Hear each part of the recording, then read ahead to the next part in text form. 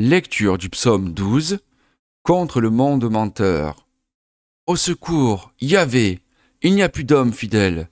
La loyauté a disparu d'entre les fils d'Adam.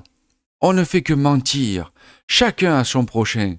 Lèvres trompeuses, langage d'un cœur double. Que Yahvé retranche toutes lèvres trompeuses, la langue qui fait de grandes phrases. Ceux qui disent, la langue est notre fort, nos lèvres sont pour nous.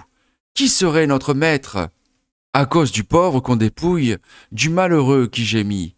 Maintenant je me dresse, déclare Yahvé. J'assurerai le salut à ceux qui y aspirent. Les paroles de Yahvé sont des paroles sincères, argent natif qui sort de terre, cette fois épuré. Toi, Yahvé, tu y veilleras. Tu le protégeras d'une telle engeance à jamais. De tous côtés, les impies s'agitent, la corruption grandit chez les fils d'Adam.